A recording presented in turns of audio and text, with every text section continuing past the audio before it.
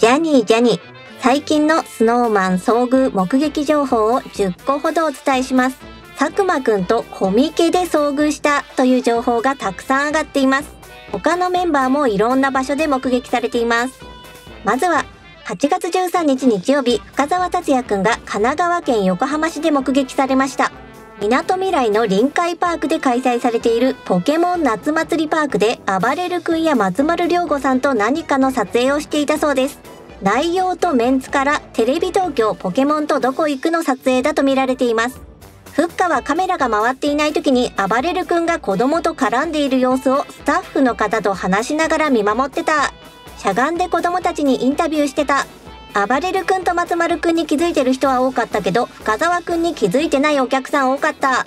人がごった返すこともなく撮影が順調に進んでる様子だった。と、スノタンが少なかったのか、そこまでの騒ぎにはなっていなかったようです。そして、こんな目撃情報も。ポケモン夏祭り、バク転してたから絶対深澤くんだ。フッカが踊ってたとか、バク転してたとか、ハイタッチしてくれたとか報告が上がってる。ということで、深澤くんがバク転をしていたようです。この目撃情報に対してスノタンからは、ポケモン祭りでバク転するってどういう状況なの？という声が上がっています。放送日は未発表ですが、放送が楽しみですね。はい、それでは、次の目撃情報へ、ズームイン。同じく8月13日日曜日、向井康二くんが東京都中央区で目撃されました。昼12時半頃、日本橋三越本店6階の三越劇場を訪れ、室龍太くんの主演舞台、いいね光源氏くんを見学していました。舞台見に行ったら同じ列に浩二がいた。黒シャツにキャップかぶってメガネしてた。室龍太くんがセリフを飛ばすたびに浩二くんが手叩いて笑ってた。向井くん自身もこの日のブログで、室龍太くんの舞台を見に行った。俺が見に行くと絶対ルータくんセリフ忘れる。と報告。目撃情報によると、セリフを忘れるたびに向井くんが手を叩いて笑っていたようですね。キャパ500人の小さめの劇場ですが、出口で若い子たちがなかなか帰らないし、係員さんも大変そうだった。浩二くん待ちだったっぽい。と、一部の観客は向井くんに気づいて出待ちをしていたようです。龍太くんの舞台は絶対見に行くねんって言ってたけど有言実行すぎ、さすが工事といった声が上がっています。はい、それでは次の目撃情報へ、ズームイン。8月16日水曜日、阿部亮平くんが東京ディズニーランドで目撃されました。ふくら P さんと何かの撮影をしていたそうです。ウエスタンリバー鉄道やジャングルクルーズに乗っていて手を振ったら振り返してくれたそうです。照り焼きチキンの開店を待っていたら目の前で阿部ちゃんが撮影してた。すごいスタイル良かった。顔小さくて細くて背高かった。ウエスタンリバー鉄道からお手振りいただいた。阿部くんは目撃されるたびに、細い、背が高いと言われていますよね。何の番組のロケかは分かっていません。まず心配なのはこっちで放送あるかだ。を放送前から居住エリアで放送されるかを心配しているスノタンが多いようです。はい、それでは次の目撃情報へ、ズームイン。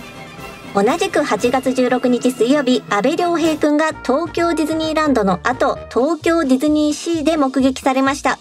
ふくら P さんとソアリンファンタスティックフライトの前で何かの撮影をしていたそうです。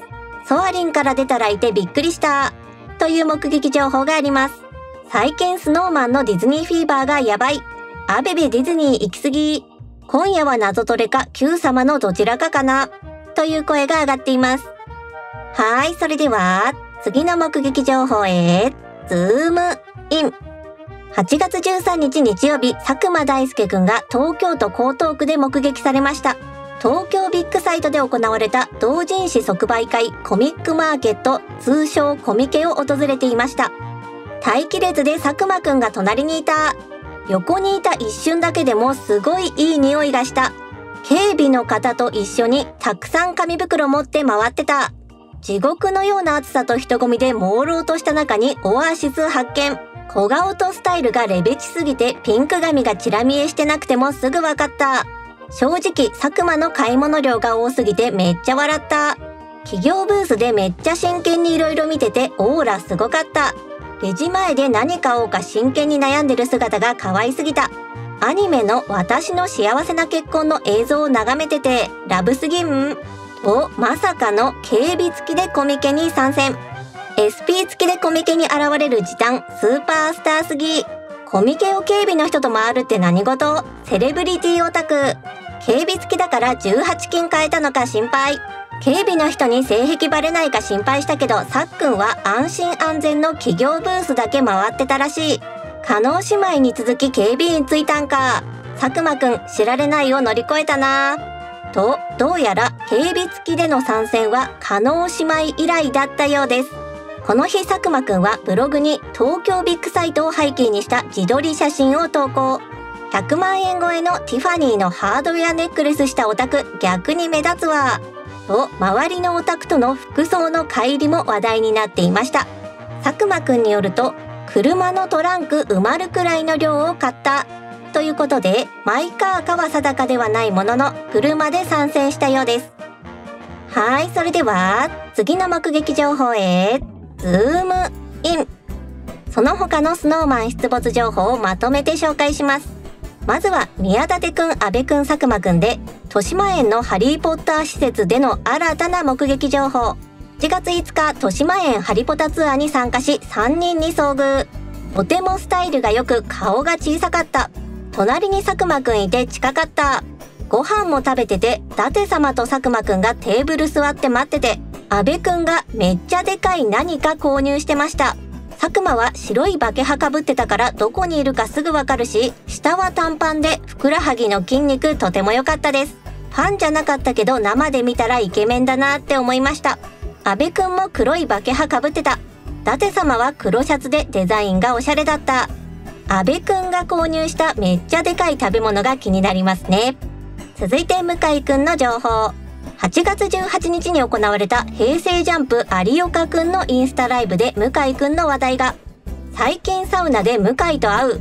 あいつ会うと絶対ハグ求めてくる。この前は向井は上がりたてで服着てない状態でハグを求めてきて、いや、まず服着てくれってなった。渡辺くんも有岡くんと同じサウナに行っているらしいですよね。続いて渡辺くんと深澤くんで、6月23日にプライベートで銀座を訪れた際の新たな情報。二人が買い物中に偶然菊池風磨くんに会った日です。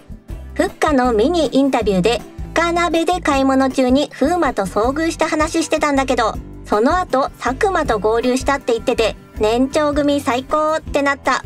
いつものパターンで助手席に乗り込む深澤さんも知れたので、深作ハピ。続いて佐久間くんで、6月4日にプライベートで訪れたワルキューレライブツアーアット幕張メッセでの新たな目撃情報。6月に幕張であったイベントで私が遭遇した佐久間さんは本当に素の日常に上がったコミケ佐久間の格好まんまだった。つまり黒のバケットハットにマスクメガネ白 T シャツティファニーのハードウェアネックレスという服装だったんですね。続いて向井くんの出没情報。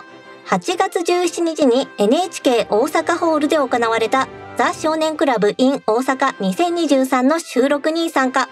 前日8月16日から大阪に前乗りし、お兄さんと過ごしたと向井くんが報告していました。続いて、安部くんの出没情報。この前、えなりかずきさん38歳と GAG のひろゆきさん38歳と3人で静岡に日帰り旅行に行った。移動中にもクイズを出し合って楽しんだ。と安部くんが8月17日のラジオで報告していました。今回の動画は以上です。まだ解禁されていない番組の撮影がいくつかありましたね。情報解禁が楽しみですね。また新しい目撃情報が出たら動画を投稿するので、ぜひチャンネル登録してお待ちください。動画を投稿したら Twitter でもお知らせしています。Twitter でジャニジャニと検索するとうちの Twitter アカウントが出てくるはずです。ぜひフォローをお願いします。それではご視聴ありがとうございました。ジャニ、ジャニ、ラブだよー